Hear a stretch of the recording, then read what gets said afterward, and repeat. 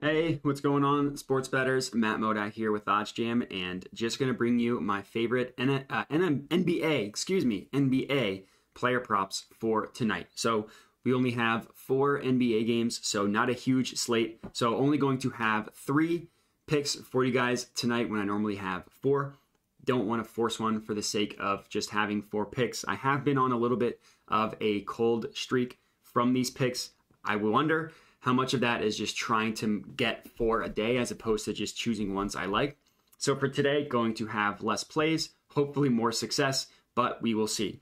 Regardless, I will say is that the NBA season has gone just incredibly for me. Since the NBA season started, I've had three weeks where I'm up a lot. Last week I was down a decent amount. That was my first bad week. That was honestly mostly NFL as opposed to NBA. But regardless, it's been phenomenal since the NBA season started. My total basketball profit is up over 16K, which means that I'm actually down across the board on other sports. That's mostly baseball, some tennis as well. But regardless, the NBA has been incredible for me. So part of that are these player props that I just have like I think two or three day cold streak, but still in the green overall, still having a ton of, ton of success with the NBA. But regardless, let's get into it. So the first play that I'm going to go ahead and lock in here. The odds keep changing on me, but it's still positive EV. Is Tyrese Maxey under 33 and a half points, rebounds, assists, minus 106 at FanDuel. I'm just going to put a half unit on this one, 50 bucks on this Tyrese Maxey play. So, of course, let me add it to my bet tracker real quick, but let's chat about this one. So, minus 106 on FanDuel is are the odds that we locked in. The Novig odds that you see here price this at about minus 109, um, exactly at minus 109 and a half.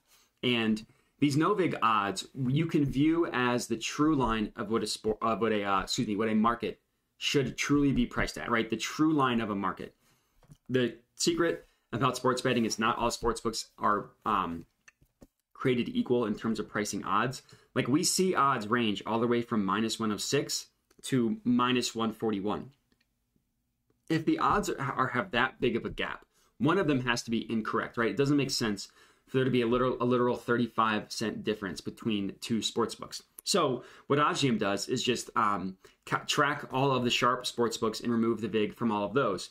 So that's why the no vig odds are viewed as the true line. Anywhere in which you can beat the no vig odds is going to be positive expected value, which is exactly what we have on this Tyrese Maxey play, minus 106. So that is kind of the math behind it. Of course, every play that shows up on this page is going to be positive EV. You just kind of want to do a little bit more digging to make sure that you're placing the best of the best. Generally, if it's positive EV, it will be, but sometimes it's a formula. It is technology after all. Sometimes something might fall through the cracks. So the additional stuff that you can do on your end to make sure that you are getting the best of the best is a couple things. Number one, if you just click into a play like I have here, it pulls up where every sports book is pricing odds for this play. And what we can see is almost, it looks like every single book that prices this play has the under as the more likely scenario. DraftKings minus 125, the over at minus 105. Bet online minus 118 versus minus 110. Pinnacle is the by far the most, the biggest favorite here, minus 141 versus plus 107. All of these books, the only one that doesn't is PointsBet, which just has it at 50 50 each way. Think that the under is the more likely scenario. FanDuel is the only one that doesn't have it priced like that. Um, so that's kind of what you want to look at when you click open a play. If you view this event page in a new tab, what it does is not only can you see like where every sportsbook prices this individual play, but you can also find examples where they might have it priced differently. So in this case, we see Pinnacle gives pricing for 34 and a half. But the other sportsbook that has pricing for it, and their main line for this is a point lower at 32 and a half. So not a huge example here, but sometimes you can find examples where sportsbooks just have things priced. The numbers themselves are different. You see this a lot with totals and spreads because the numbers are so high. So it's just important to get a holistic view of the betting market and what all sportsbooks price it at. I will admit, for handicapping purposes, this one makes me a little nervous because Tyrese Maxey has been absolutely balling but what I will say, one game, the, the most recent game he played, he didn't hit this number. He landed, I think, on 22.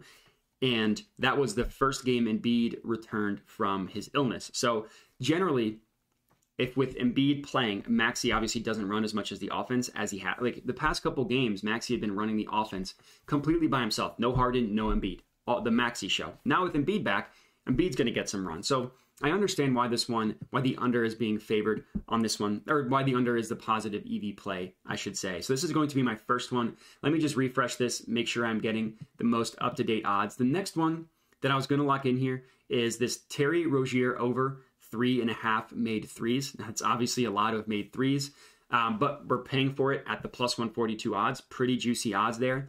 The Novig odds price this at about plus 138, essentially, if you want to round up to plus 138. So the gap at plus 142 is your positive EV. But just look across the board. The closest book that prices this is Bet, is Bet Online at plus 126, 16 cents lower. Every other book we see plus 125, plus 120, plus 121. All of them have it priced 25, 20 to 25 cents lower than what FanDuel is giving us at plus 142. Again, an example of a pretty clear outlier line that we want to take advantage of. So I'm going to go ahead and lock this one in. Terry Rozier over three and a half made threes. Going to put a little bit less than half a unit on this one. So that way, if both the either one of the Tyrese Maxey or this one hits, we will be profitable.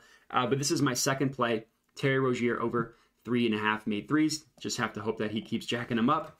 Um, and then the last one that I wanted to lock in here, let me just give this another refresh, um, is the Tyrese Maxey under three and a half rebounds. So this is minus 113 at Bet Rivers.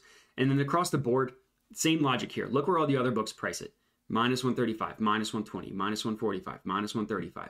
The closest again looks like it's minus 120 and then it's minus 128 with Pinnacle at minus 136. All of these sportsbooks having that as a significantly more likely scenario than what Bet Rivers slash Barstool slash Twinspires slash Unibet is giving us. So this is going to be my third and final uh, betting player prop for today. Let me just go ahead and add this one to my bet tracker as well. Let me give this one last refresh. Make sure no more odds or no more good plays that I like have been added. Nope, everything is the same as it was. So that's going to be it for my three NBA player props for today. If you're tailing these bets, comment on the video. If you have been, I apologize for the rough stretch. But I will say, make sure to follow me on Twitter. I had a great day with my NBA system plays yesterday on Twitter at Jedi Modi.